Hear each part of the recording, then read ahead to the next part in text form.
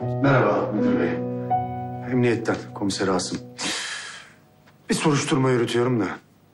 Size eski bir öğrenciniz hakkında birkaç sorum olacaktı. Buyurun. Ama ben yeni tayin oldum. Size yeterince yardımım olacağını sanmıyorum. Ha. Öyleyse kertenkele hakkında bir bilginiz yok sanırım. Maalesef. Onun kayıp kardeşi desem kadar şanssızım ben ya.